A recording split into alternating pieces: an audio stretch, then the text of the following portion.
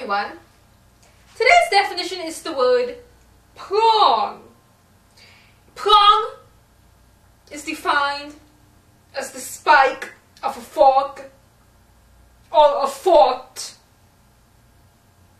So prong is really the spike of a fork.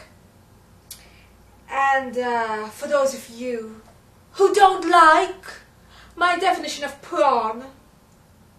I will just snap your fingers and snap your neck.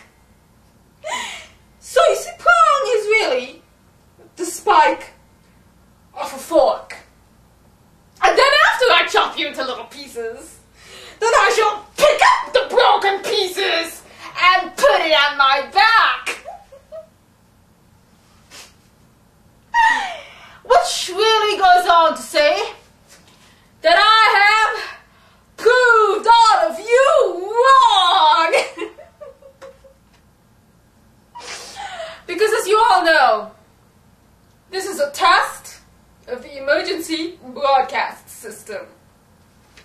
So my definition of prong is uh snap your fingers and snap your neck. That's if you don't like uh, the talking dictionary. That's what I, the talking dictionary, am going to do.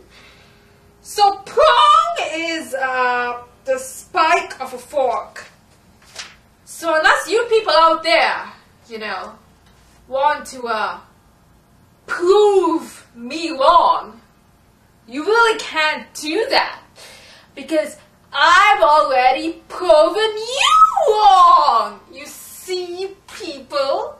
So, um, you know, then uh, in that case, I would have to uh, bit weight. I mean, uh, cut rate or cut throat. You know, and uh, you you're not you're not gonna like that very much. So, um, whatever it is, back off, people, because once I snap your fingers and snap your neck, I'm gonna have to bend down to pick up all the broken pieces, put them together and carry it on my back, and then bury all of you.